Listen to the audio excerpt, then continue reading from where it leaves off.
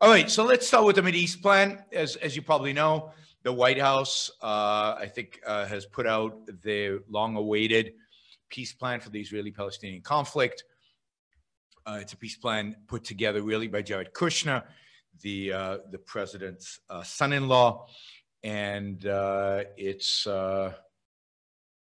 you know it, it it it it came out. I don't think it was really, you know, they didn't trumpet it as, as much as one would expect, I think to a large extent, because they realized that in many respects, the peace plan is a non-starter. There, there's nobody really to negotiate uh, this with. So uh, it, it's kind of out there. It's being discussed. There have been some press conferences with uh, both Benjamin Netanyahu and uh, the guy running against Netanyahu, Gantz, uh, the former general, uh, they've been, uh, you know, they were both in the White House when this was uh, when this was unveiled. They both have expressed, you know, some support for the plan, which is pretty easy for them to do, given that it's going nowhere. So let's let's talk a little bit about this plan. I mean, I, I've I've talked about in the past. I had a sense of what the outline would be uh, in the past. I don't think it was a big secret. And and let's start maybe with the with a few of the um, of the positives uh, regarding the peace plan, the Middle East peace plan uh, unveiled by, by Trump. First, it's, uh, you know, as compared to peace plans put together by Carter, even Reagan, Clinton, Bush, uh, certainly Obama, although Obama never had a formal peace plan. It, it's, it's the most uh, pro Israel plan. It's a plan that seems to definitely take seriously um, Israel's security concerns to a point I would argue that the plan itself contradicts the idea of Israel's security, but it, it gives a lot of lip service to it. It emphasizes that as a big aspect of the plan. It's clearly geared towards getting support, uh, you know, from the Israelis, and it has, and it's geared towards getting support from kind of the pro-Israel lobby in Washington, which I think it has as well. You know, at least at least the kind of the right right of center pro-Israel lobby in Washington, D.C. The plan uh, does kind of place the responsibility for peace to some extent on the Palestinians, uh, but but I but not enough. Um, but it it's uh, it is you know it is somewhat considered by many to be pro-Israel. It does articulate the case for a two-state solution uh, for a the establishment of a Palestinian state. It actually mentions, I mean, it mentions uh, the, the, the uh, idea Palestinian state 1,397 times. So 1,397 times um, in a 180 page document, it says the state of Palestine. So it, it is recognized. It's, it's a peace plan that recognizes uh, and, and endorses the formation of a Palestinian state in, in territory, both, if you, if you know a little bit about the map of Israel, both in the West Bank and Gaza, but also in some territory controlled today by Israel, and some of Ga- some of the West Bank is then given to Israel. So there's like a trade of land where Israel gives up some land and the Palestinians give up some land. It involves no dismantling of settlements, no movement of populations, either Palestinian Palestinians or uh, or Israelis. Uh, but it, it it is it is a full fledged endorsement of a uh, state of Palestine, a Palestinian state, which you know George Bush was the first American president to endorse such a plan for a Palestinian state, and it's become basically the, the American foreign policy to do so. So that's everything I think good with the plan. It, it basically tilts a little bit um, you know, tilts a little bit towards uh, the, uh, you know, towards towards Israel. But in everything else, it is it is a terrible plan. It is a horrible plan. It it does not recognize the fundamental reality of the Israeli-Palestinian conflict. It evades that. Um, it's it's a non-starter. It, it it can't go anywhere because because it gives way way way too much credit to the Palestinians. it basically suggests that the that the own you know that the Palestinians, in order to achieve peace, just need the right plan. That the Palestinians want peace, that the Palestinian leadership, the Palestinian people, the Palestinian uh, political parties, that you know want peace, and that the only barrier to achieving that peace is having the right plan, is maybe providing them with the right incentives. I think all of that is bogus. I think all of that is fundamentally wrong. The first and biggest problem with uh, the Trump administration's peace plan is that there is a peace plan. The American administration should butt out. They shouldn't offer any peace plans. Let the Israelis and the Palestinians come to terms on their own terms. The United States cannot impose a peace plan that is lasting, that is successful on the Middle East. It was not, the peace between Israel and Egypt was not a product of the United States. The peace between Israel and Egypt was a product of the courage, the, the foresight of Sadat, Anwar Sadat, the president of Egypt at the time. He unilaterally declared his willingness to engage in peace negotiations with Israel. He flew to Jerusalem. He spoke in front of the Knesset. And then he negotiated. The Americans helped a little bit, brought everybody to neutral territory, uh, you know, crossed the T's, dotted the I's but it was not an American peace plan. Is a peace plan negotiated between the two parties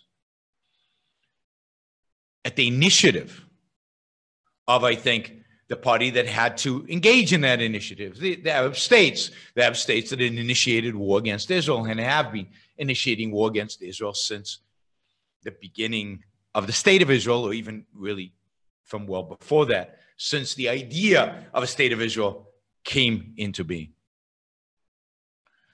America should just butt out. And it, and it should butt out more generally. I mean, many of you will say, oh, but, you know, you support the Americans supporting Israel. I don't. I don't support. I don't support America supporting Israel financially.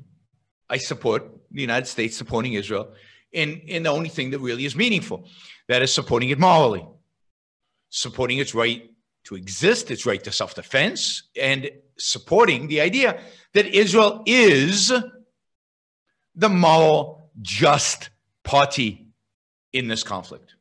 And, and, and for that, I encourage you to read Elan Journo's book about the Israeli Palestinian conflict, available at Amazon, available everybody else. It's, it's a book that'll give you a sense of why I and others think Israel is the just party why Israel is ju- you know should receive moral support, why Israel should not be arm twisted into some kind of deal with uh, with the Palestinians. So uh, the peace plan first is they'll concede because there shouldn't be a peace plan. The only thing the United States could do to help Israel, I mean, two things it could do. One is to assert the justice of Israel's cause and basically tell them it's up to them and how they deal with the situation and leave it up to Israel to do it. Secondly, as part of their moral support, they could convey a clear message to the Palestinians. And the message that the Palestinians should receive is that they are wrong, that they are in the wrong, that if they want peace, they must negotiate with Israel directly. But if they want, but they have to realize that the United States will not come to their assistance, will not come to their aid, will not give them money, will not support them until they change their ways dramatically. It won't support them anyway, but it won't support them morally until they dramatically change their ways. The message that the Palestinians should receive is that they have no hope other than peace. That their cause is not just, that their cause is not moral, and that their cause will not receive support from a civilized world. and that their cause should be a cause of despair, of failure, and that they better get their act together, better go to the Israelis with some deal that is acceptable to Israel. I mean, Israelis suffer from the Palestinian Israeli conflict. They suffer a lot. But the Palestinians suffer dramatically more. And you know, somebody once said, and I think, I think, I mean, it's this is a catch. It's it's kind of a, a silly uh, thing, but the fact is that if tomorrow Israel lay down its weapons, the Palestinians would slaughter them. If tomorrow the Palestinians lay down their weapons, there would actually be peace in the Middle East. So the responsibility for the initiative towards peace has to come from the Palestinians, not from the US, not even from the Israelis. It has to come from the Palestinians. And it can only come from the Palestinians if they recognize, internalize completely that they have lost, that they have no hope, and that Israel is the solution to their problems, not the cause of their problems that the only way for them to thrive and succeed is by reaching a deal with the Israelis. And that deal could be a one state solution, it could be some form of two state solutions. You know, who knows what the deal will be. And I don't think anybody should pretend to assert what it should be into the future. It's a deal that's going to take a long time, and it's a deal that has to come from the Palestinians and has to come at their initiative Now, what does the Trump deal do beyond beyond recognize that the Palestinians should have their own state? The primary section, the primary verbiage in this deal is focused on economics.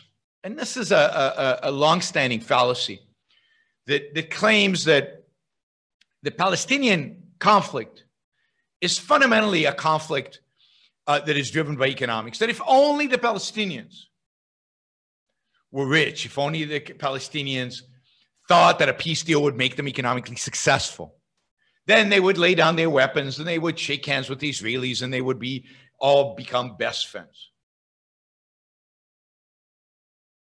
But there is zero basis for that idea. And yet, that is the assumption behind the Trump peace plan. I mean, here's one sentence. If implemented, peace to prosperity will empower the Palestinian people to build that society that they have aspired to establish for generations. But is that true?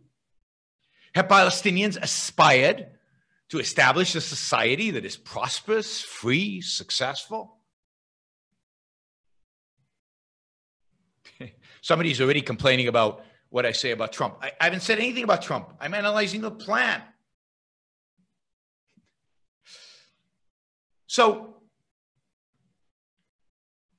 has the Palestinians aspired to this kind of freedom? Have they aspired to a marketplace? Have they aspired to economic prosperity? Because if they had aspired to all those things, then why, when the Gaza Strip was handed to them by the Israelis? Did they destroy all the economic infrastructure that the Israelis had left behind? Why, when they had autonomy and were pretty much left alone, did they not establish a free government with free institutions? Why did I not establish a prosperous trading economic system based on private property? Where was any of that? Where's that in the Gaza Strip? Where's that in the West Bank? Indeed, the Palestinians were most prosperous before the first Intifada in 1987, when they were under Israeli rule, where they were integrated into the Israeli economy, and they did relatively well. And yet, that is what they rejected. And when they had relative autonomy in the post 1994 kind of uh, post uh, Oslo Accord era, post 1993, they destroyed that prosperity. They didn't take advantage of it. Indeed, the corruption of the Palestinian leadership destroyed any possibility of prosperity for the Palestinians. They could have been prosperous. What prevented them from that prosper- prosperity is their own leadership. Did they reject that leadership as a consequence? No, they keep electing the same and choosing the same people to lead them throughout. Throughout. So the Palestinians have nobody to blame for their plight but themselves. From 1947 on, they've rejected any possibility of peace with the Israelis when they've come close to some kind of settlement with the Israelis, come close to any kind of autonomy over their own land, they're proven to be incapable and incompetent of actually creating a even semi-free society that leads to prosperity. And yet, Trump's peace plan assumes that they've aspired, they've aspired to prosperity and to freedom and to into having a, a, a, a wonderful world. The plan promises to usher Palestinians into a quote prosperous future unquote, and it, it says that they will be helped by over 50 billion, 50 billion of new investment over 10 years, including significant American investment. It's you know, it, it, the goal is to cause the Palestinian GDP to double in 10 years, create over a million new jobs, reduce the unemployment rate below 10%, reduce poverty rate by 50%. They talk about electricity all over the place. They 116 times they have electricity in the, mentioned in the plan. 303 times they have prosperity mentioned in the plan. By the way, uh, Daniel Pipes has a good review of the plan in um, at danielpipes.org very Pipes is very good in the Israeli-Palestinian conflict. They talk about developing tourism and Israel giving, you know, building tunnels and roads and yeah, Israel maintaining the security responsibility over all these things, but as if all that's needed for the Palestinians to change their ways and abandon terrorism and abandon the idea of destroying Israel, all that's needed is a few roads and a tunnel and a resort and a casino maybe and and and and a better electric electricity grid. You know, maybe we can bring that electricity grid to, to Puerto Rico where we need it. I mean, I, I, I don't understand the reason for putting out this plan, other than uh, as a way to try to uh, to to to get kind of secure Jewish certain parts of the Jewish vote during the election. It's not going to go anywhere. The Palestinians have already turned it down. It gives them nothing new. We know the Palestinians are not interested in peace. If they were, again, they could quite capable of contacting the Israelis and negotiating a deal. But they have done no such thing they have not been interested. They have, uh, when they did strike a deal in 1993 in Oslo, they used that deal as justification and as leverage to attack Israel more and more. And terrorism rose every time Israel negotiates, every time Israel compromises with the Palestinians, terrorism increases. It is only through strength that Israel can achieve peace with the Palestinians. And that peace has to come from the Palestinians and from the acceptance of their complete and utter defeat, their acceptance that they will not, cannot get rid of Israel militarily through violence, through terrorism, and that they, they a complete acceptance of the existence of the state of Israel. That is the only, only way peace will come to the Middle East. And that requires a different approach from America. It ultimately requires a different approach from Israel. but that is a whole other other issue that I can we can talk about at some point. Um, so, uh, somebody's asking, has there ever been a nation state called Palestine?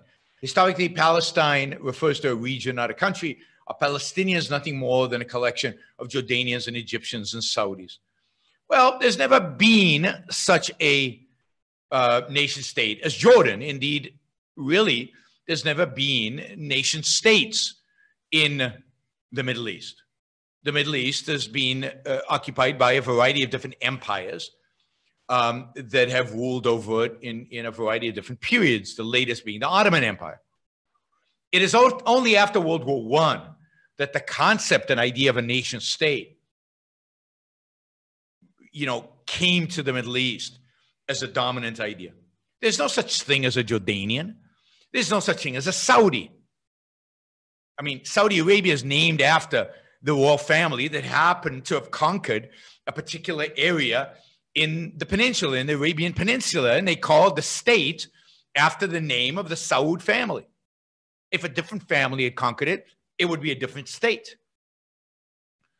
There's no Iraq. There's never been an Iraq. There's no Syria. There's no real Lebanon. Now, Syria, to some extent, that term existed because for a long time, I think under the Romans and, and later on under Ottomans, it was uh, an area that included Jordan and Israel and, and much of that part of the world. Uh, and in Damascus, usually the, the regional governor ruled from. So the whole concept of a nation state is a European concept. It doesn't exist anywhere else. And it has been exported to the rest of the world. It's a, it's a concept that comes out of the Westphalian, uh, you know, uh, uh, uh agreements and uh, you know really came to dominate Europe in the 19th century with the rise of nationalism and national nationalist movements. So, is there such a thing as a Palestinian people? What, what, what? Yes, as much as there is such a thing as the Jordanian people. It's people who live in a particular geographic area. Now, historically, many of the Arabs who live in what is today Israel plus the West Bank and Gaza Many of them came from Syria and Lebanon, Jordan, and other places during the era in which the Jews, when they came to what was then called Palestine under the British, created a huge amount of economic activity. And many of these Arabs came in and, and bought property and raised families and, and worked there. And, but that, in my mind, is as legitimate as if somebody lived there for 2,000 years. Who the hell cares how long you've lived somewhere? So again, I'm not a nationalist in that sense. So, yes, there's such a thing as Palestinians, the same ex- extent that there is such a thing as anything else. They're Arabs who lived in what we have geographically defined as Palestine. And the Palestinian national movement came out, uh, uh you know, was created. Hi, Amesh. Uh, give me a yeah. minutes to finish up here and we'll go. Can you, you hear me? Say something? Yeah, I can hear you let me just finish up this up quickly, and then we'll we'll go to you. Um, so it's it it came out of the the um, the same intellectual stream that brought nationalism, brought um, the whole idea of a nation state into the Middle East in the kind of post World War One world. Um, in the post World War. Okay, let me just see if there's other questions here related to this particular issue. Did Kant's influence ever reach Islam in the Middle East? Yes, it did. I, don't know how directly it did, but it did again in the kind of late 19th century and certainly in the post World War One, in the secular parts of the Middle East, uh, where primarily rich Arabs sent their kids to go study at the best universities in the world, and those universities were happen to be in in Europe, and and they, and they they learned just like everybody else who went to Europe at the time, Kantian ideas or, or at least Kantian influenced ideas so yes, the, the, the Kantian ideas, but also ideas around socialism and fascism. All those ideas were imported into the Middle East by students who went to the West, learned their ideas, and brought them back uh, to the Middle East. Uh, finally, Palestinians are oppressed and manipulated by Hamas.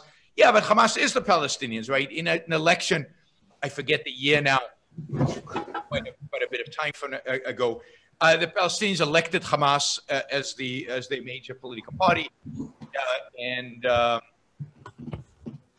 You know, and as a consequence,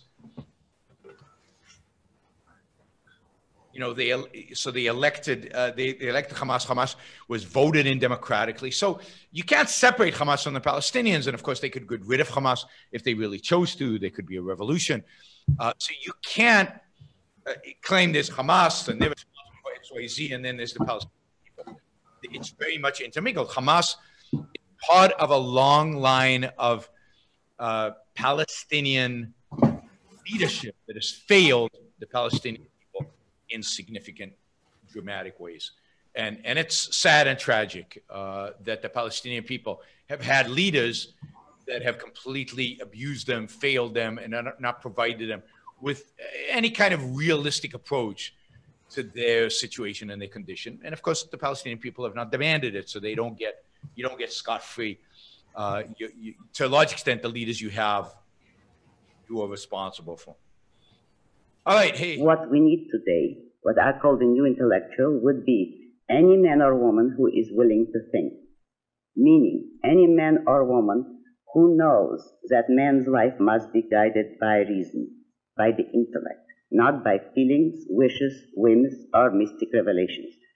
Any man or woman who values his life and who does not give, want to give in to today's cult of despair, cynicism, and impotence and does not intend to give up the world to the dark ages and to the rule of the collectivist brute.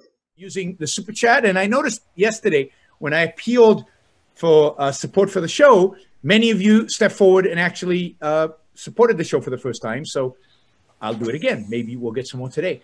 Um, if you like what you're hearing, if you appreciate what I'm doing, then I appreciate your support. Uh, those of you who don't yet support the show, please take this opportunity. Go to yaronbrookshow.com slash support or go to subscribestar.com, Yaron Brooks Show, and, um, and, and make a kind of a monthly contribution uh, to keep this uh, to keep this going. I'm not sure when the next